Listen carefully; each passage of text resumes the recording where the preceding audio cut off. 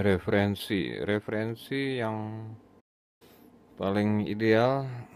selain referensi menggunakan musik yang sudah ada dari band-band yang udah jadi udah di mastering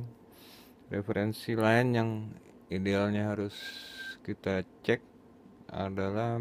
mixingannya itu sendiri mixingan hasil mixingan yang belum di mastering Nah, caranya supaya kita bisa compare dengan enak adalah kita turunin dulu level audio yang udah mastering. Ya, kita samain loudnessnya dengan loudness mixing